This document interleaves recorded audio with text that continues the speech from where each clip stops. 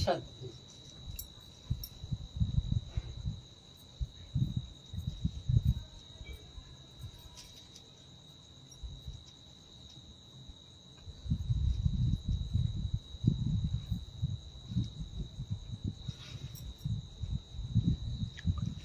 जय जय श्री राधे श्याम।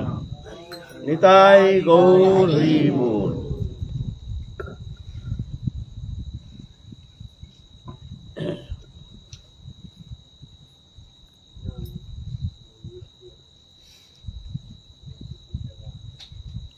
बोल मनुष्य जीवन का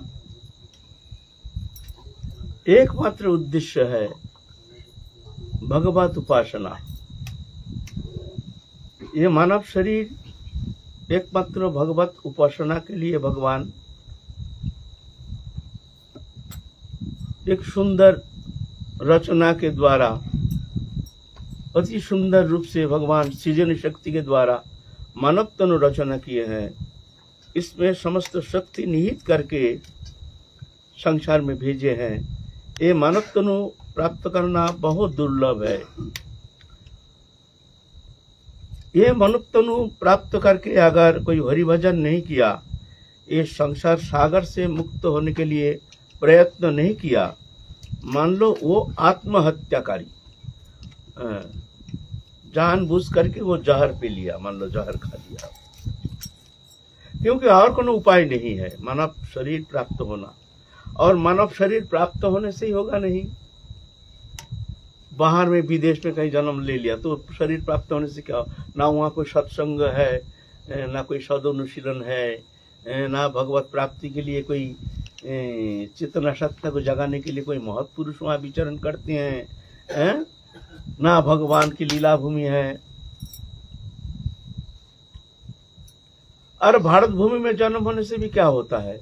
भारत भूमि में शहर में नाना प्रकार बहिर्मुख लोगों को जहाँ अवस्थिति है, वहाँ जन्म लेने से भी क्या होगा? ना है सत्संग ना कोई वहाँ चेतना जागृति के लिए कोई महत सान्निध्य, हरिकथा श्रवण करने का सुंदर मौका। सबसे उत्तम है वृंदावन भूमि। यहाँ साधु संत विचरण करते हैं। यहाँ हरि कथा होती है सहज लभ्य है।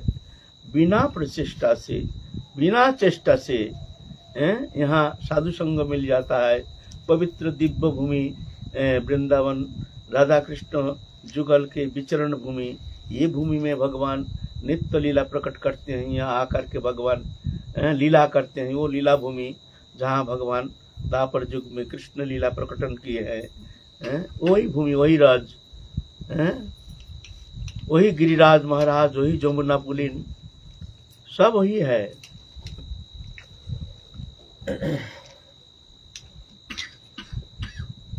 ये वृंदावन जो है, इसका त्रिविध प्रकाश। ये वृंदावन भूमि। एक है सामान्य प्रकाश जो कि बाहरी जो दृश्यमान जगत है, वहाँ से यहाँ कोई भेद नहीं दिखता है। ये भगवान की ये मायामय प्रपंच जैसे दिखता है, लेकिन ऐसा है नहीं। चर्म चुखे देखे तारे प्रपंच रे समो प्रेम नेत्र देखे तारे स्वरूप प्रकाश वृंदावन गोप गोपी रास विलास। तो जो दृश्यमान जो वृंदावन है चर्म चक्षे देखे तारे प्रपंच चर्म चक्षु से देखने में लगता है, जैसे बाहरी जो वृक्ष आदि है, यहाँ के लोग है, यहाँ के घर, मकान, दुकान, यहाँ जो लोग जन विचरण करते हैं, सब कोई भेद दिखता नहीं है। वहाँ भी चोट चोटा है, यहाँ भी ऐसे चोर चोटा बदमाश सभी है, हैं? तो कुछ भेद दिखता ही नहीं है, लेकिन ऐसे नहीं यह दृश्यमान ये दृश्यमान प्रकाश है। ये दृश्यमान प्रकाश साधारण जो मनुष्य है, जो भक्ति में अनुप्रवेश है नहीं, जो भगवान की कृपा प्राप्त करने में समर्थ हुए नहीं है, उनके लिए ये दृश्यमान प्रकाश जो है, ये प्रपंच जैसे दिखने में लगता है, वास्तव में ऐसा है नहीं। प्रेम नेत्र देखे तार स्वरूप प्रकाश यही वृंदावन में साधन करके जब भगवत कृपा प्राप्त करने में समर्थ हो जाते हैं तो यही नेत्र में ही एक प्रेम नेत्र प्रकाश हो जाता है, प्रेम प्रकाश। उस नेत्र के द्वारा ये दिव्य वृंदावन में ही दिव्य प्रकाश देख सकते हैं। राधा कृष्ण जुगल के दिव्य नित्य प्रकाश, नित्य लीला स्थली नित्य वही गोलक धाम के वही पूर्ण प्रकाश।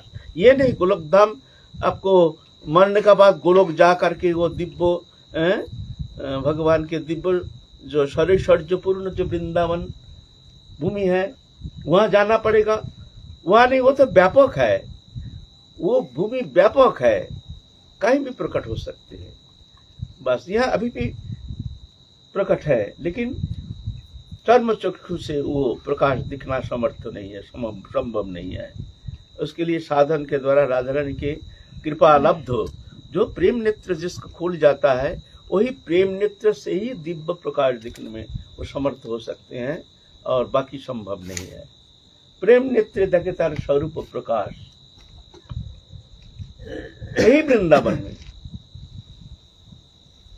लोकनाथ गोस्वामी वृंदावन में महाप्रभु के पास लोकनाथ गोस्वामी की शिष्य थे नरोत्तम ठाकुर। आए हैं बंगाल से। तो महाप्रभु के नित्यानंद प्रभु के अवतार आवेश अवतार है साधारण तो असाधारण असाधारणता है नहीं। जब आए हैं, लोकनाथ गोस्वामी से दीक्षा प्राप्त करके उनकी सेवा में रहते हैं। एक दिन लोकनाथ गोस्वामी कहते हैं, नरोत्तम थोड़ा रस लिया। ये लीला भूमि लीला भूमि का रस से शौच क्रिया करके शुद्धिकरण के लिए ये मिट्टी का जो व्यवहार है, ये हमको अच्छा नहीं लगता है। ये दिव्य भूमि है ना? ये दिव्य भूमि का रज जो है, ये दिव्य रज है, इसके द्वारा शुद्धिकरण हमको अच्छा नहीं लगता है। तो एक टोकरी रोट, मिट्टी ला दूसरा जगह से। शुद्धिकरण के लिए, हाथ मिट्टी करने के लिए शौचो क्रिया के बाद। नरोत्तम ठाकुर तो एक टोकरी लेके निकाल गए। दो दिन पीछे लौट के आ गए, दो दिन लग गया। इधर लोकनाथ गोस्वामी सोच रहे हैं, कहा गए कहा गए? नरोत्तम कहाँ चले गए उसको मिट्टी लाने के लिए? हमने भेजा, लेकिन वो कहाँ चले गए? समझ में नहीं आता है। एक दिन हो गया, दो दिन हो गया, ऐसे बिना पूछे तो कहीं जाता नहीं। दो दिन पीछे एक टोकरी मिट्टी लेके आ रहे हैं। अरे नरोत्तम तो कहाँ गया था? बोलते गुरुदेव मिट्टी लेने के लिए गए थे। अरे पागल मिट्टी, यही तो बगल में ही तो पड़ा है। थोड़ा लीला स्थली के बाहर जाने से ही तो कितना खेत है, वहाँ से मिट्टी लिया मतलब गुरुदेव हमको तो कहीं तो मिट्टी दिखता ही नहीं। वो दिव्य वृंदावन के वो लीला, वो स्वरूप, वो झाकी, है ऋतु वन वही दिव्य वृंदारण्य गोलोक धाम के दिव्य प्रकाश हीरा मोती बिखरा हुआ दिख रहा है। राज सब राज नहीं, ये देख रहे हीरा मोती बिखरा हुआ चारों ओर सरोऋतु वन, दिव्य वृंदावन के दिव्य ओम छठा देख रहे हैं। लोकातीत, इंद्रियातीत, गुणातीत, वो दिव्य छठा प्रकाश दिख रहे हैं। मिट्टी दिख ही नहीं रहे हैं। हीरा मोती बिखरा हुआ सब। दिव्य वृंदावन की शोभा। दिव्य प्रेम नेत्र खुल गया। वो वृंदावन को ऐसे ही दिख रहे हैं। मिट्टी दिख ही नहीं रहे हैं। टोकरी लेके सीधा चलना शुरू कर दिए। जहाँ वृंदावन समाप्त हो गया सूर्यशिखर वृंदावन के सीमा आगरा के पास जाकर के फिर मिट्टी मिला। तो वहाँ से फिर जाके एक टोकरी जाने में एक दिन लग गया, मिट्टी लेकर आने में एक दिन लग गया, दो दिन लग गया। गुरुदेव पूछते तू कहाँ गया था? बोलते मिट्टी लाने गए थे। अरे पागल, मिट्टी थी यहाँ खेती में, खेत में कितना पड़ा है। यहाँ दिखता ही नहीं मिट्टी। सब ऐसे बिगड़ा हुआ, हीरा मोती बिगड़ा हुआ। ये दिव्य ये सब दिखते हैं। ये तो मिट्टी है ही नहीं। तो यह है, ये सत्य है, यही वृंदावन। अलग नहीं, आपको गोलोक धाम जाने का आवश्यकता नहीं है। और वो लीला अभी भी हो रही है। वो लीला जो प्रेमी भक्त है, यही वृंदावन में अभी भी वो प्रकाश देखने में समर्थ है। जो राधा रानी की कृपा लब्ध जो ऐसे समर्पित आत्मा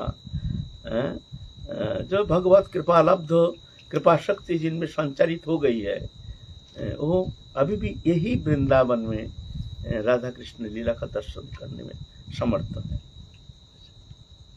और वो जो साधक के मानस पटल पे जो लीला स्फुरित होते हैं वो क्या नित्य लीला है? भौम लीला है? देखो साधन अवस्था में जब चित्त शुद्ध होता है तो जाके स्फूर्ति धीरे धीरे प्रकाशमान, जैसे टीवी में देखते हैं ना, ऐसे टीवी जैसे खिल जाता है, सामने प्रकाश दिखने में आता है। वो चित्त शुद्धि से होता है, धीरे धीरे धीरे धीरे, चित्त जितना शुद्ध होता है, उतना ही वो प्रकाश कृपा साध्य कृपा करके राधा रानी, उसको वही प्रकाश में, जो स्फूर्ति दशा में उसको दिव्य स्वरूप का प्रकाश दिखाते हैं। ये तो है लेकिन एकदम वृंदावन के दिव्य जो प्रकाश वो प्रकाश तो एकमात्र प्रेम प्राप्ति से ही वो प्रकाश देखने में समर्थ है। स्फूर्ति दशा में भी अच्छा है वो भी दिव्य है लेकिन वो पूर्णतम प्रकाश नहीं है ना? वो क्या भौम भौम लीला के है ना अप्रकट ना प्रकट प्रकाश? जैसे साधक चिंता करते हैं उनके साधन पद्धति जैसे है जो जैसे, जैसे जिसके जैसी उपासना तदनुसार स्फूर्ति दशा प्राप्ति होती है। अलग अलग उपासना पद्धति है ना? कोई ऐश्वर्य मार्ग के उपासक है कोई माधुर्य मार्ग के उपासक है ऐसे। ये वृंदावन है अभी भी वो लीला ठाकुर जी करते हैं। किसी हैं? कोई महापुरुष इस अवस्था में पहुँचते हैं तो क्या बाहरी रूप से कुछ एहसास हो सकता है कि ये महात्मा उस स्थिति में है लीला के दर्शन प्रेम स्तर में? साधक को देख करके। देख कर बाहरी। ना देखो बाहरी दृष्टि से ये तो पहचान करना बड़ा मुश्किल है। जो उस स्थिति में पहुँच जाते हैं उनकी क्रिया मुद्रा बड़े बड़े विद्युत जन समझ नहीं पाते हैं। बड़े विचित्र दशा प्राप्त होते हैं, जो कि मन बुद्धि के अगम्य है। कभी तो पागल जैसे जैसे दिमाग खराब, कोई आश्रमिक चिन्ह नहीं, तिलक नहीं, कंठी नहीं, माला नहीं, पागल जैसे घूम रहा है, क्या बोल रहा है, क्या बकता है ऐसे। वो दशा देख करके साधारण व्यक्ति कहेंगे, जो ये तो दिमाग खराब हो गया है। पहले भजन करता था अब भजन भजन छूट गया अब इधर उधर डोलता है कोई नियम नहीं हैं, कोई शुद्धाचार नहीं तिलक कंठी माला पहले करते थे अब ये तिलक कंठी भी नहीं करते हैं। फिर क्या बड़े दाम्भिक है? हम कल राधेश्याम किया हमको राधेश्याम लिया ही नहीं। वास्तव में ऐसा नहीं है। वो चलते हैं तो वही वही दशा उसमें एकदम नित्य दिव्य दशा प्राप्त होकर इतना अंतर बना हो जाते हैं। वो ख्याल नहीं रहता कौन जा रहा, कौन आ रहा, कौन क्या बोल रहा। मान लो वो जा रहे अपने भाव में।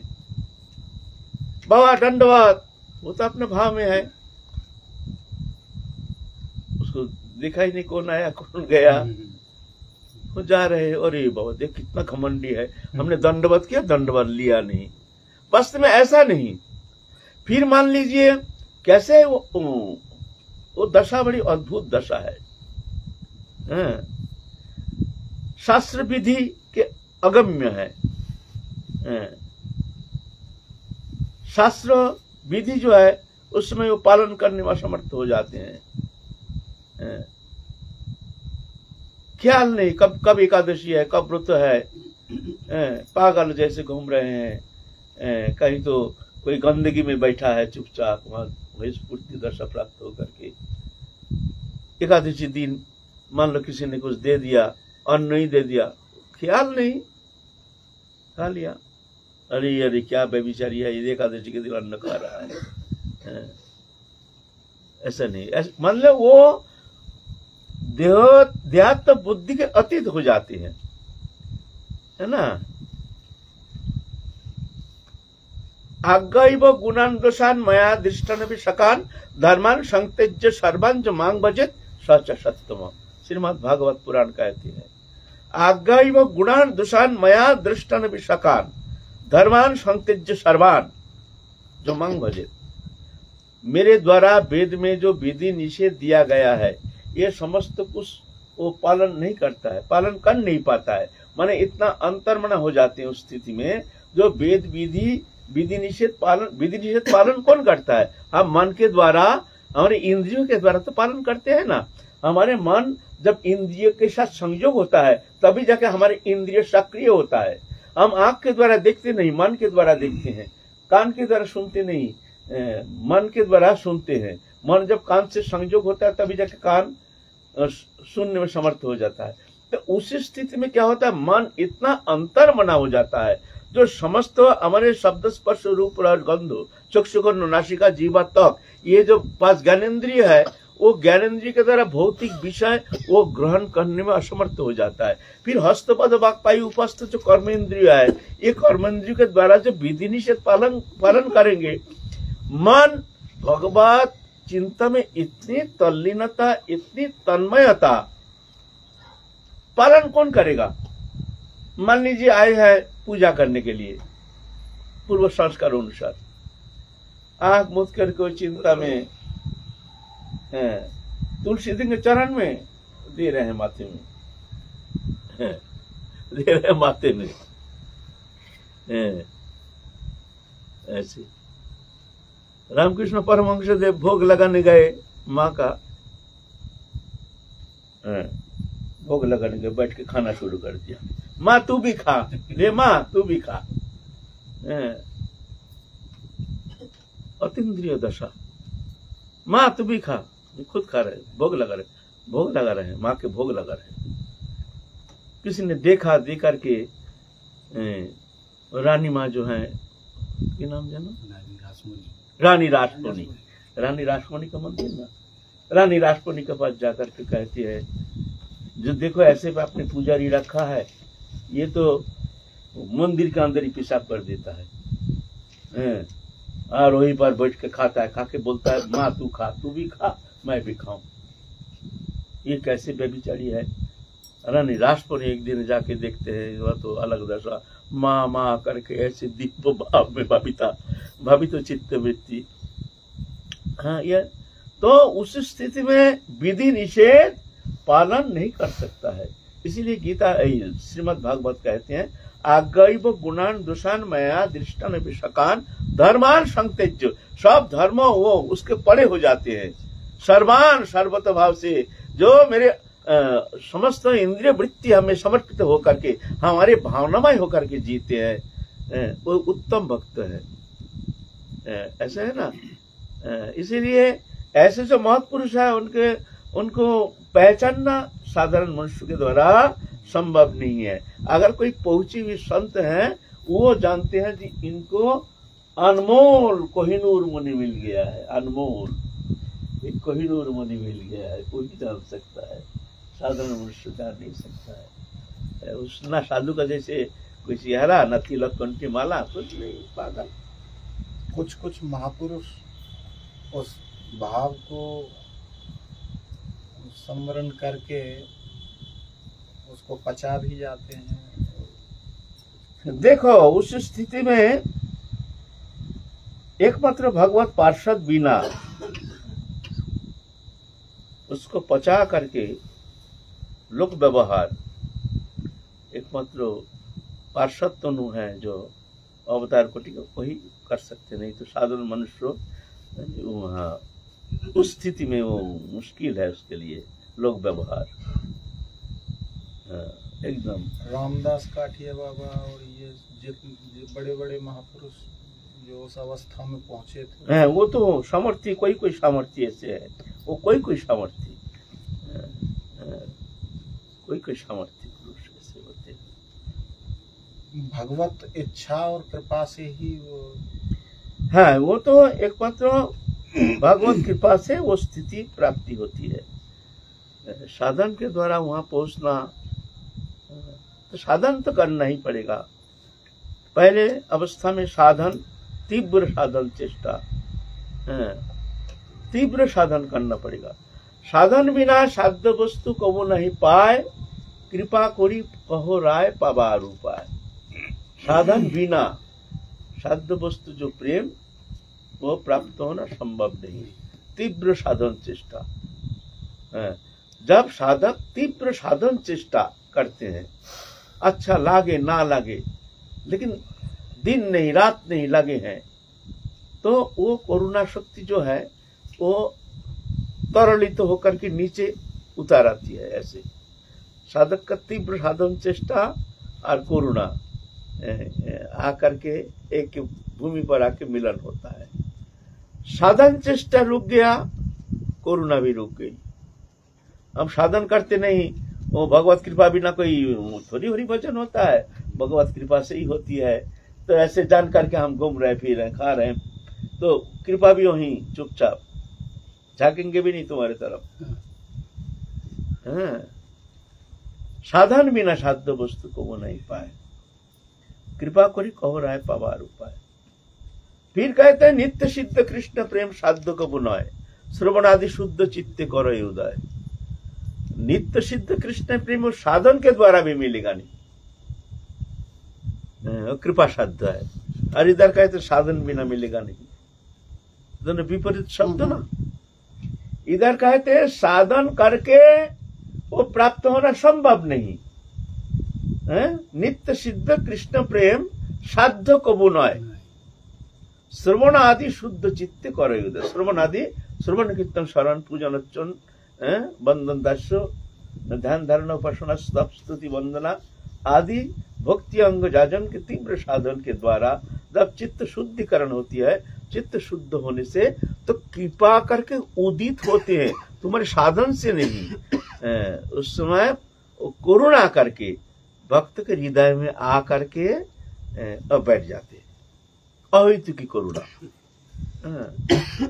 तो साधन बिना बिना साधन से होगा नहीं। इसलिए भक्ति संदर्भ में कहते हैं, भगवत प्राप्ति के लिए दो वस्तु। भगवत प्राप्ति के लिए। भक्ति संदर्भ में कह रहे हैं, जीव गोस्वामीपाद एक कहते हैं, तीव्र अत्यंतिक साधन चेष्टा। अच्छा लागे, ना लगे। दिन नहीं, रात नहीं लगे है। समय नहीं गमाए नहीं, हर समय। होता नहीं, हो नहीं रहा है, मन लगता नहीं। मन में नाना प्रकार विक्षेप।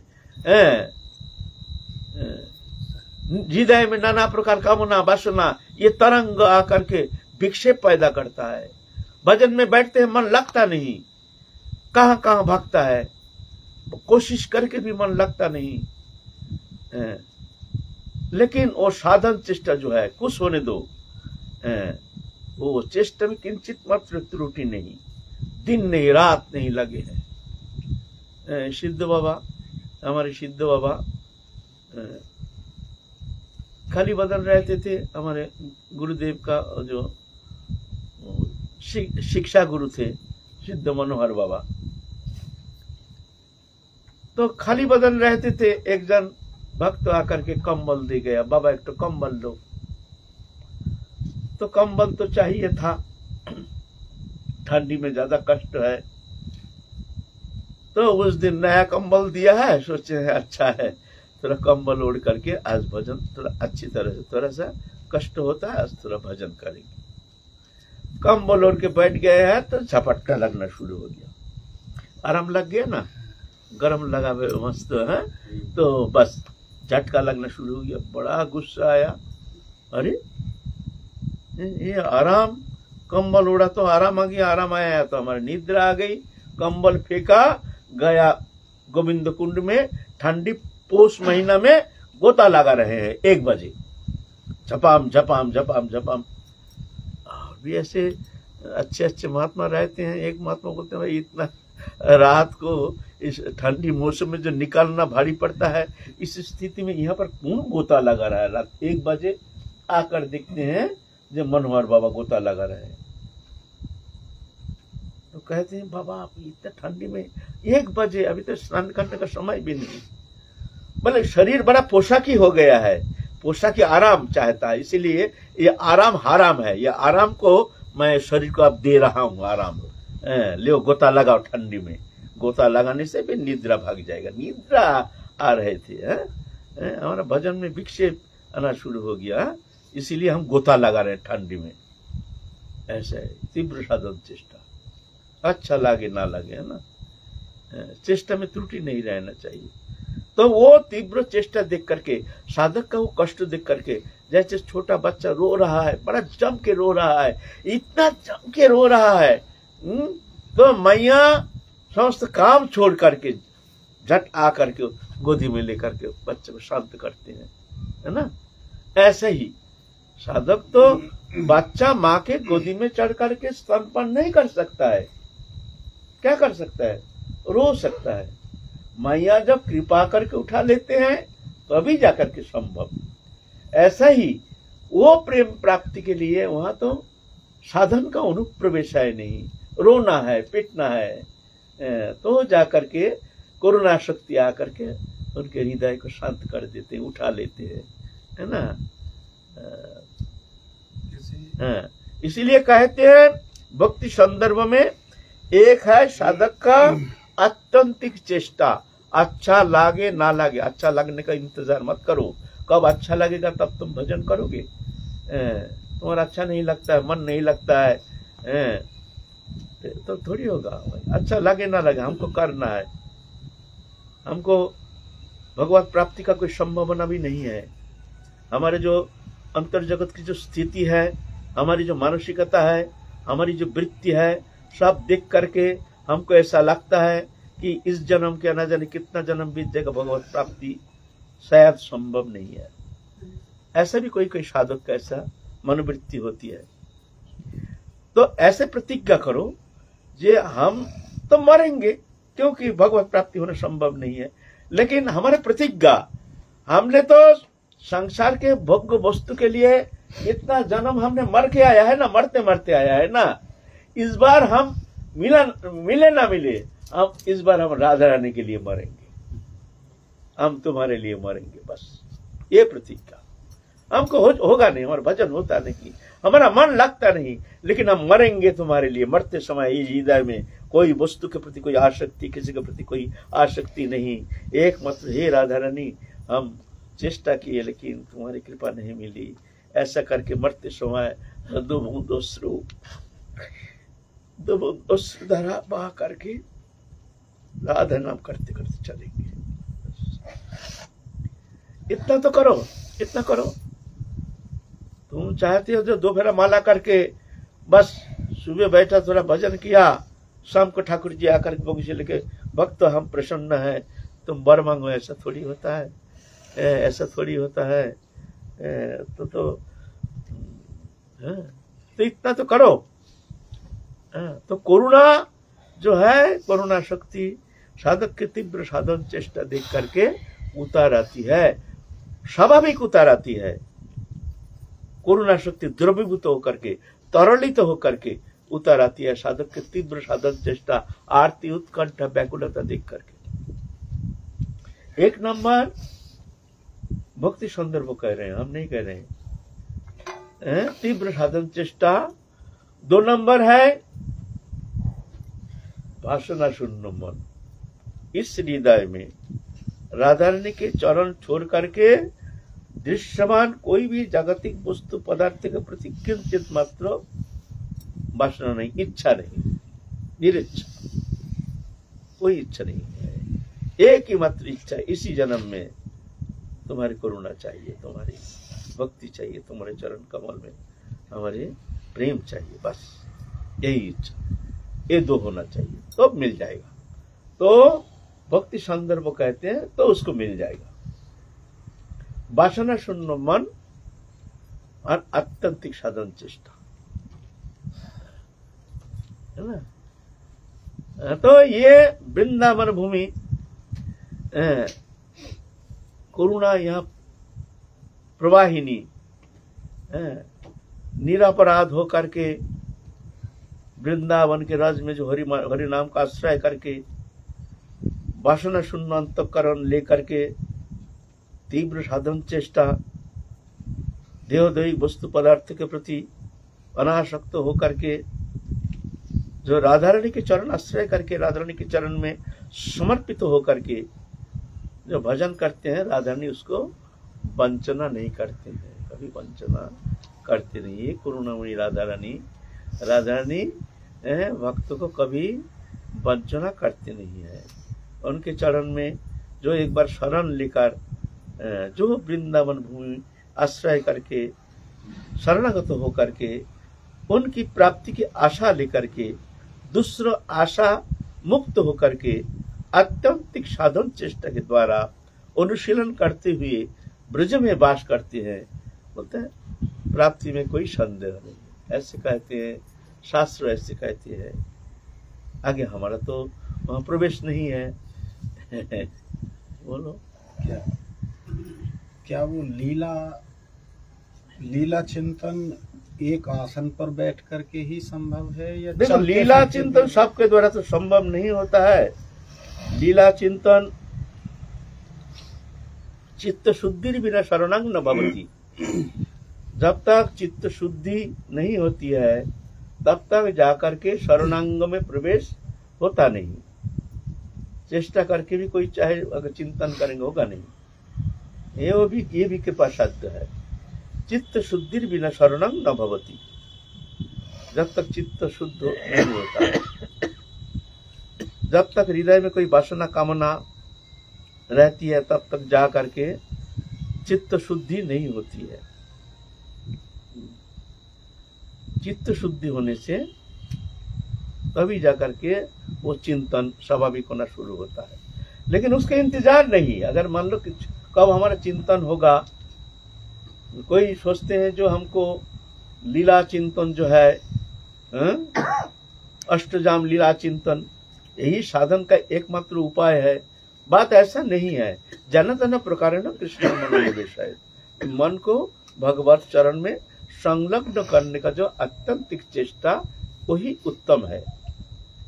एक बार सिद्ध बाबा, गोवर्धन के सिद्ध बाबा वहाँ तो उस समय अल्प कुछ साधक ही रहते थे और सब महत्पुरुष के चरण सान्निध्य में रह करके, महत कृपाश्रित होकर के महत पुरुष के आदेश निर्देश अनुसार ही अपने साधन चेष्टा, अपने भजन जीवन व्यतीत करती थी।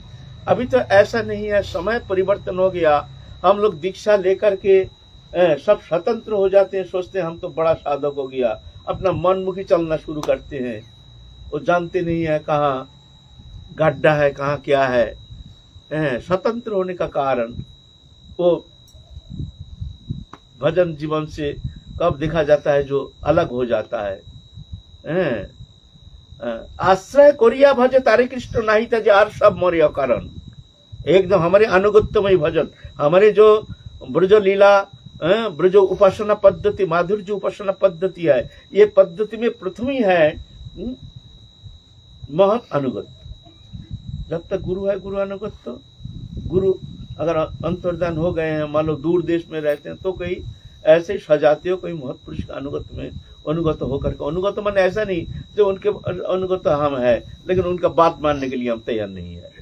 ये ऐसा नहीं, ये स्वतंत्र, ऐसे अनुगत तो नहीं होता है। अनुगत माने वो जैसे कहते हैं, आदेश करते हैं, निर्देश करते हैं, तदनुसार ही तुमको चलना पड़ेगा। उनका आश्रित होकर के। उम्र होने से ही वो परिपक्व होता नहीं है। वही अगर सोचे कि हमारा उम्र हो गया, बहुत दिन ब्रजवास कर रहे हैं, हम अब परिपक्व हो गए हैं, उसके जैसे मूर्ख जगत में है नहीं। उम्र से परिपक्व होता नहीं है। परिपक्व होता है संस्कार। कभी कभी दिखा जाए छोटे छोटे बालक में जो परिपक्वता, साधन की जो स्थिति बड़े बड़े विद्वान में वो स्थिति है नहीं। परिपक्व बात करते हो उम्र से। या उम्र का कोई इम्पोर्टेंस ही है नहीं। परिपक्व ऐसा होता नहीं है। परिपक्व संस्कार। पूर्व पूर्व जन्म के संस्कार लेके जन्म लिए हैं। छोटे छोटे बच्चा भी उसमें भी दिखा जाती इतने सुंदर संस्कार इतना भक्ति है, जो क्या कहें। ऐसे है ना। तो जब तक उस स्थिति में हम नहीं पहुँचते तब तक महत अनुगत होकर के उसको साधन करना चाहिए। इसीलिए हमारे आचार्य जो कहते हैं आश्रय लोहिया भजे तारे कृष्ण नहीं तजे आर सब मरे अकारण। अकारण मरते हैं ये लोग जन्म लेते हैं पढ़ते हैं साधन करते हैं लेकिन मरते हैं। हैं कि वो आश्रय नहीं है वो स्वतंत्र हो गया। वो जानता ही नहीं है कहाँ कितना गड्ढा है कहाँ रास्ता कैसा है। गड्ढा भी गिर जाता है अटक जाता है है ना? इसीलिए इस तरह से अनुगत में भजन पहले तो अनुगत होकर के उसको साधन करना पड़ेगा। चलते फिरते रास्ते में भी क्या लीला चिंतन संभव है? चिंतन किया नहीं जाता है चिंतन हो जाता है। चिंतन क्या है? स्वाभाविक अंतकरण व्यक्ति। हमारा पुत्र मर गया है तो पुत्र मर गया है उसके चिंतन करने के लिए क्या हमको चेष्टा करना पड़ेगा? कहीं बैठे हा हा हा हा कहा गया? कितना समझाओ? अरे, ये तो अनित्य संसार है। पुत्र मर गया तो क्या हुआ? ये तो मरेगा, तुम भी मरोगे। मिथ्या, क्यों रो रहे हो? कोई बात मानेगा नहीं, फिर भी यही। हाँ बेटा हाँ क्यों? तो ऐसे ही जब तुम्हारे लगाव हो जाएगा ठाकुर जी के साथ, ठाकुर जी के चरण में तुम्हारा अंत करेंगे, लगाव होगा ना, तब ऑटोमेटिक चिंतन होता रहेगा। हमारा लगाव है संसार के प्रति। चिंतन कैसे होगा? दोष देते हैं चिंतन का। चिंतन होगा कहा? चिंतन तो हो रहा है। चिंतन होगा कहा? वो तो चिंता में फंसा हुआ है? चिंता में फंसा मन तो एक है। यहाँ लगाओ, चाहे वहाँ लगाओ। संसार में लगा हुआ है दृश्यवान वस्तु पदार्थ में फंसा हुआ है। वहाँ लगेगा कैसे? है ना? इसीलिए ये दोष दूसरे का नहीं है। ये तो हमारा ही दोष है। हमारा मन वहाँ फंसा हुआ है। अच्छा लगता है। दृश्यमान वस्तु पदार्थ भोग्य पदार्थ हमको अच्छा लगता है, मन लगा हुआ है, हैं।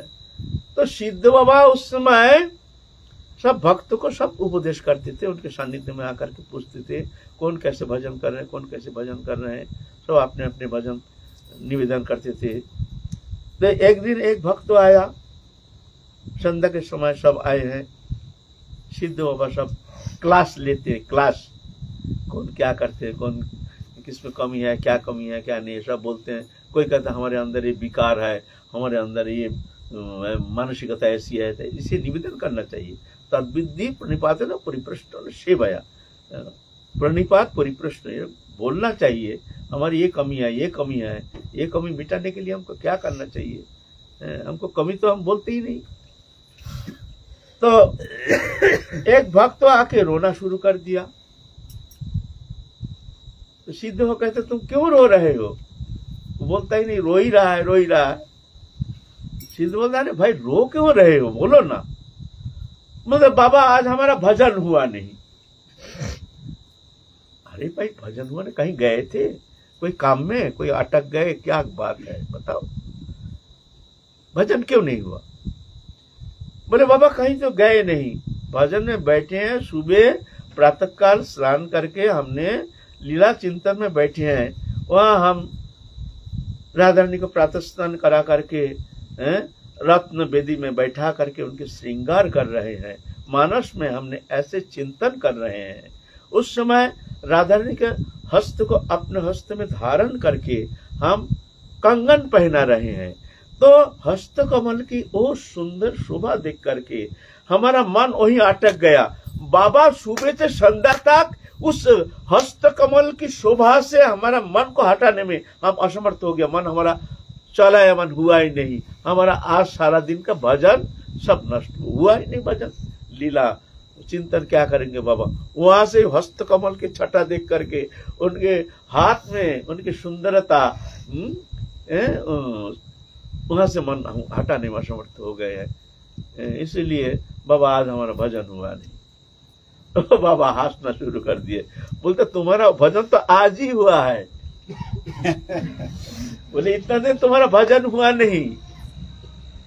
तुम्हारा भजन तो आज हुआ है। यह भजन। लीला चिंतन तो एक प्रक्रिया एक प्रक्रिया हाँ। साधक का ये क्या है? एक विज्ञान है। विज्ञान क्या है? जैसे हमारा मन चलाए मन है चलो, चलाए मन है तो मन तो स्थिर नहीं होता है। तो मन स्थिर कैसे किया जाए? न चलायमान जब मन चलायमान है तो चलाए मन, चिंतन करते रहो। स्थिर होता नहीं है तो चिंतन करो। सुबह उठ करके गुरुदेव को जगा रहे हैं, गुरुदेव जगा करके गुरुदेव को आश्रम में बैठे हैं, फिर राधा कृष्ण जुगल को जगाए हैं, फिर राधा रानी को ले जाते हैं सुंदर स्नानागार में जा करके राधा रानी को हम इस तरह से स्नान करा रहे हैं गहना पहना रहे हैं, फिर जा करके ऐसे, फिर राधा रानी को लेके जा रहे हैं सूर्य कुंड में ये चल है मतलब तुम्हारा मन रुकता नहीं है ना, ये प्रक्रिया विशेष इसका मतलब ये नहीं, कोई अगर राधा कृष्ण जुगल के वही रूप माधुरी में आस्वादन कर रहे हैं, ध्यान निविष्ट होकर के तो इसका मतलब ये नहीं, उसका भजन नहीं हो रहा, अष्टजम लीला बिना भजन होता नहीं है। ऐसा बात नहीं है। प्रकार न कृष्ण मनोनिवेश मन को लगाना है। हैं? यह है फॉर्मूला यह है प्रक्रिया। जिसका मन लीला में नहीं लगता है सिर्फ़ नाम की तरफ़ ध्यान रख करके तुम चिंतन करते रहो।